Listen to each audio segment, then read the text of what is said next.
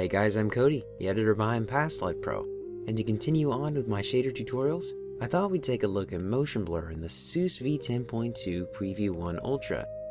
So, let's get down to it.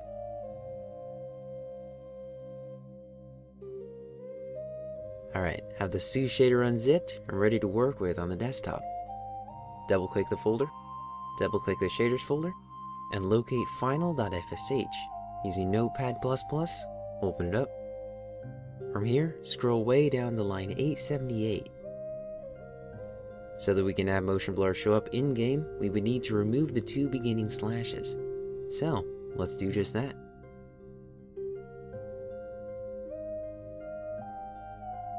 Now, there is a reason there's more to this tutorial, and I'm sure you can understand why.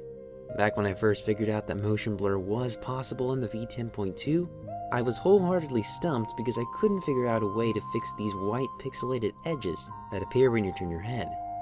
Well, until now. Let's get this sorted out.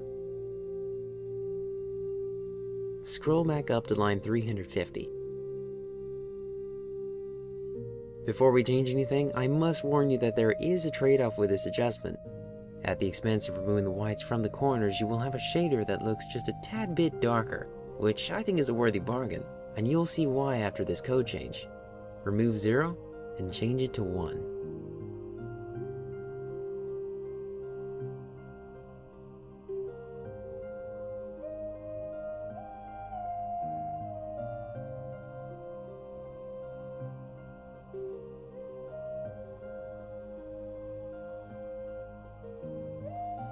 Alright, here's the last thing I want to show you. Line 348. This value is what will allow you to adjust how much motion blur is in the final product. As usual, larger numbers increase the blurring, whereas smaller numbers understandably decrease it. For my taste, I'm going to go for a slightly more subtle blurring, so I'm going to change the value to 0.4f. Save, and let's check this out in Minecraft.